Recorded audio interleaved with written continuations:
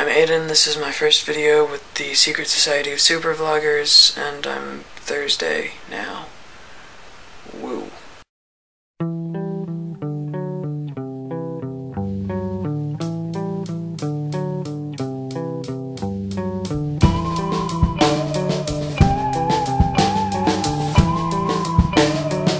My hometown isn't particularly interesting. I was born here and raised here, and I've lived here for 16 years.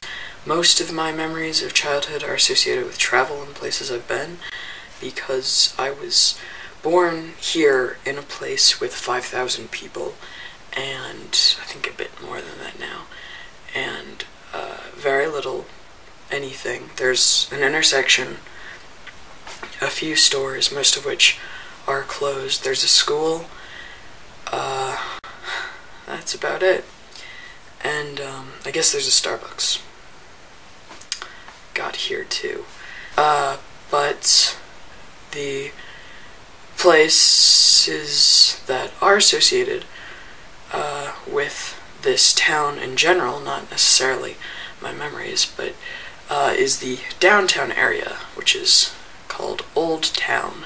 And it's not actually a downtown area, but I'm going to show you some clips of that because watching me ramble is going to be very uninteresting. So you're going to listen to me ramble while you see hopefully some slightly more compelling visuals. This city doesn't have very much, but I do have a few memories here. I was born here, I lived here, live here, I walk around a lot. There's some very nice areas for walking. Mostly the people who live here are retired.